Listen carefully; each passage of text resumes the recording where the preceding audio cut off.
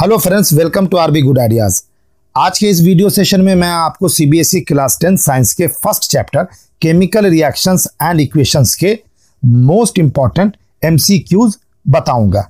ये सारे questions red colour में हैं और इनके आंसर मैंने ग्रीन कलर में हाईलाइट कर दिए हैं। इन सारे क्वेश्चंस को आप अपने बोर्ड एग्ज़ाम के लिए रेडी कर लीजिए और अपने नोट्स के साथ इनको भी देख लीजिए। साथ ही ये भी देख लीजिए कि आपको इन क्वेश्चंस में से कितने के आंसर पता है। अगर आपका स्कोर कम है तो आपको इस चैप्टर पर थोड़ा ज़्यादा ध्यान देने की और ज़रूरत है। तो आइए स्टार्ट करते हैं इस वीडियो सेशन को।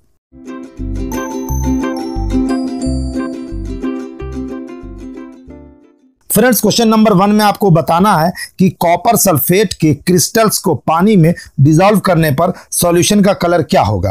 क्वेश्चन नंबर टू में बताना है कि एक टेस्ट ट्यूब में जिंक पीसेस के साथ डायल्यूट हाइड्रोक्लोरिक एसिड को ऐड करने पर क्या होगा? क्वेश्चन नंबर थ्री है कि पीबीएस ओजोन से रिएक्ट करके पीबीएसओ4 फॉर्म करता है। पीबीएस के एक मोलिकूल के लिए ओजोन के कितने मोलिकूल्स की ज़रूरत होगी? क्वेश्चन नंबर फोर है कि केमिकली रस्ट क्या है? क्वेश्चन नंबर फाइव में आपको बताना है कि इनमें से कौन सी रिएक्शन करेक्ट नहीं है।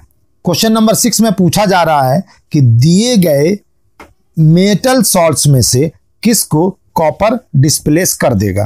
क्वेश्चन नंबर सेवन में बताना है कि इलेक्ट्रोलिटिक सेल में एनोड पर क्या होता है? क्वेश्चन नंबर एट में पूछा जा रहा है कि H two plus C L two equals to S C L reaction कैसी रिएक्शन है?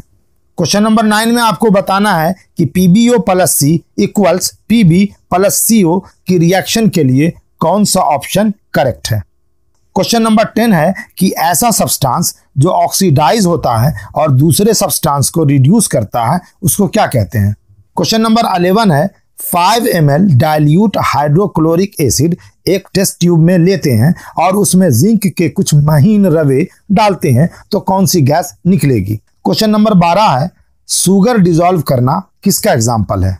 क्वेश्चन नंबर तेरह है ऑप्शन में चुन करके बताइए कि किस रिएक्शन में हीट इवॉल्व होती है। क्वेश्चन नंबर फोर्टीन है, इनमें से कौन बैलेंस्ड इक्वेशन नहीं है? क्वेश्चन नंबर 15 का सवाल है कि लेड नाइट्रेट और पोटेशियम आयोडाइड के बीच होने वाली रिएक्शन किस रिएक्शन का एग्ज़ाम्पल है? क्वेश्चन नंबर 16 है आयरन फिलिंग्स के साथ डायल्यूट एच यानी हाइड्रोक्लोरिक एसिड ऐड करने पर क्या होता है? नेक्स्ट वीडियो में हम लोग आगे के क्वेश्चंस को भी देखेंगे। वीडियो ज़्यादा लंबा ना हो जाए, इसीलिए पार्ट पार्ट करके वीडियो पोस्ट कर रहा हूँ।